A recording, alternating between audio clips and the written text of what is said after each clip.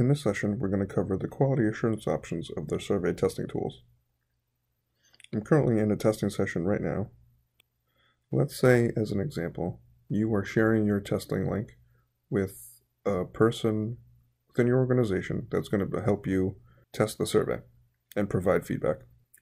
As long as they're logged into the system and have been using the link, they will be able to leave some tasks directly in the system for you. So as an example, let me test through.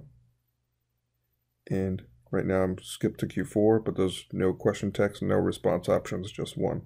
So clearly this doesn't look like it's been fully programmed properly. I, as the other party, can go in and while testing, click on the edit slash add tasks button on the right hand side and add a new task.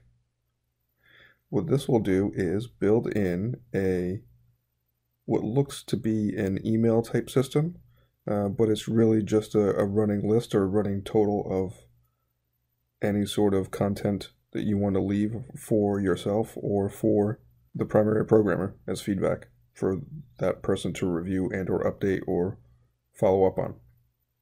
So here I've added a task and it says attention needed on page six. So this is pretty much the subject line.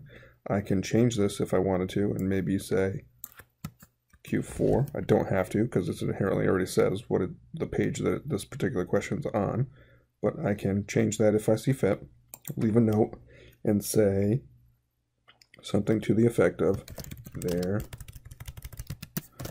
there was no question text and only one blank response option.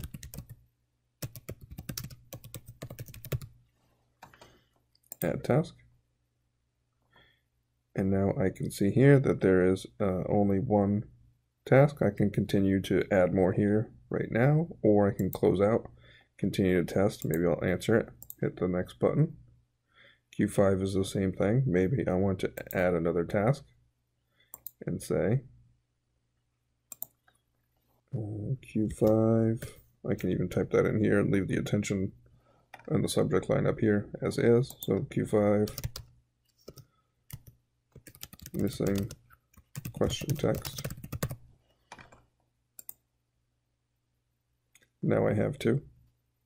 I can still access them at any point too. If I clicked on this button, I can click on that Q4 to review it.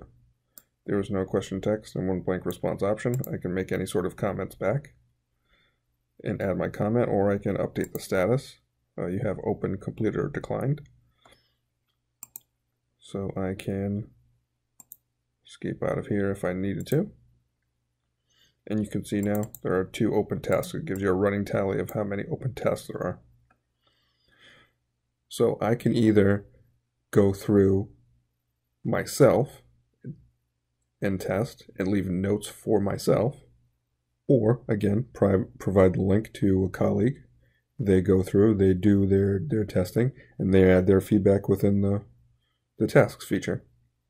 This is a great value add so that you don't have to worry about sending emails back and forth with bulleted lists.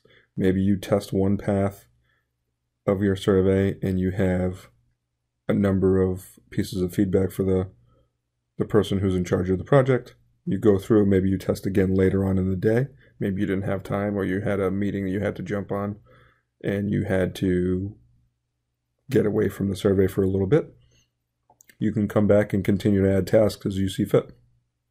Now the primary programmer or the person who's in charge of the project can either A, access them the same way I did here. I can just click on the test link, go here and click on edit add task and I can see the list. Or I can use my navigation uh, button or menu and go to the tasks. It's its own feature. So if I click on that, this will send me the survey dashboard. You can see the tasks. There's two with the little red indicator here. So it gives you a counter so that it it's very obvious to you that there are open tasks sitting here waiting. So let's say, for example, I've got two open ones here. I can click on any one of them. maybe I made the update.